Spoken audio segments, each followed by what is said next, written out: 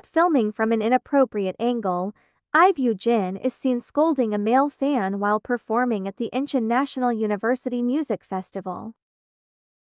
Recently, one of the girl groups under the Starship Entertainment Agency, namely IVE, has just been in the spotlight of netizens after they performed at a music festival hosted by Incheon National University.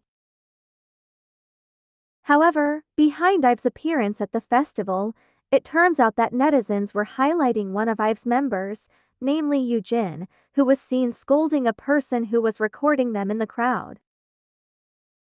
In a video circulating, when the members finished performing with their latest song, Yujin was seen realizing that there was one person in the crowd who seemed to be trying to take video of the IVE members from an inappropriate angle and making the members uncomfortable.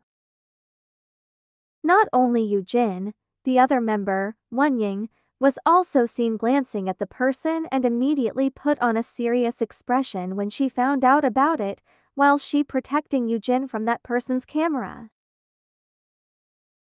Seeing the incident, the fans was felt angry about what the person did for taking a video from an inappropriate angle to their idol.